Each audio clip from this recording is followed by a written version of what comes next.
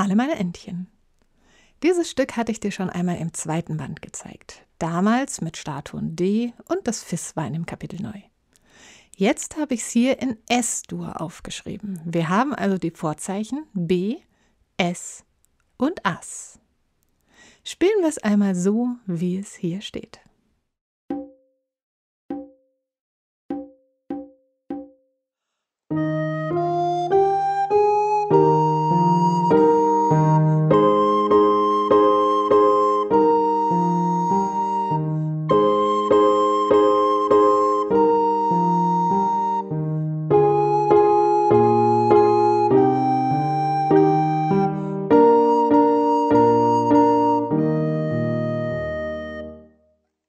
Dieses Stück haben wir jetzt ja schon in zwei verschiedenen Tonarten gespielt.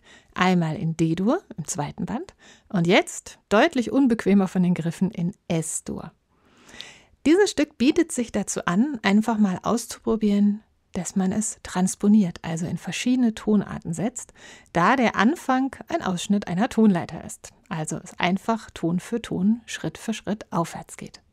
Probier doch einfach mal aus, wie es klingt, wenn du mit G anfängst oder mit A oder mit F oder B. Wenn es nicht so klingt, wie du es kennst, dann fehlt vielleicht ein Vorzeichen. Dann ist vielleicht der Abstand zwischen zwei Tönen, also das Intervall, mal zu groß oder zu klein. Und da kannst du einfach mal ausprobieren, was brauchst du dafür? Muss ein Ton erhöht werden? Brauchst du also ein Kreuz? Muss ein Ton erniedrigt werden, weil der Abstand vorher zu groß ist? Dann brauchst du ein B. Und da kannst du es einfach mal ausprobieren. Ich wünsche dir viel Spaß beim Gang durch die Tonarten.